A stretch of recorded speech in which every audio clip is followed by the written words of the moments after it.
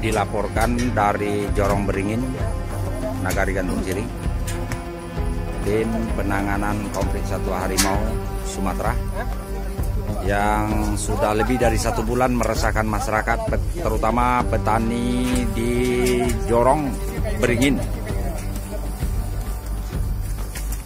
Di daerah Rimbo Singo-Singo,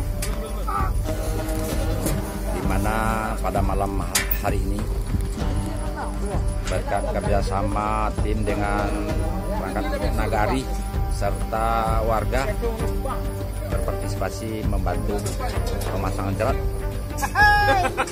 uh, berupa kerangkeng untuk penangkapan satwa harimau Sumatera.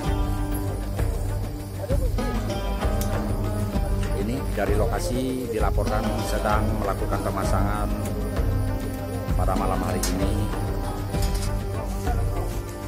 Mudah-mudahan keresahan masyarakat di daerah ini bisa kita atasi dengan terperangkatnya harimau Sumatera yang telah meresahkan ini.